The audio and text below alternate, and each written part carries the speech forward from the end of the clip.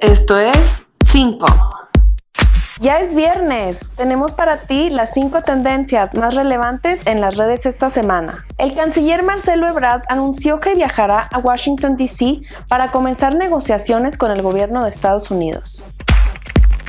La Dirección General de Atención Ciudadana de la Presidencia ha recibido 29.404 cartas dirigidas a Andrés Manuel López Obrador de personas de todo el país pidiendo empleo, vivienda y seguridad.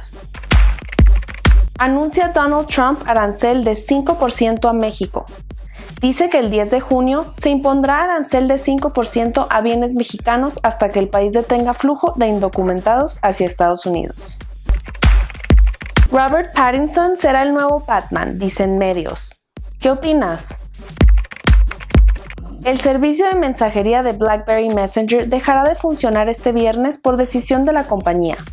Su adiós despertó nostalgia y muchos recuerdos.